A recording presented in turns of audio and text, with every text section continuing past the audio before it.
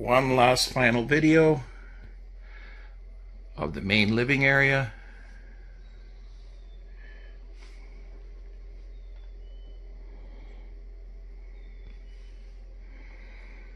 Keep in mind, this camper is a 2024. It is June 17th, so that means there's still approximately two and a quarter years of full warranty left on this next to new unit.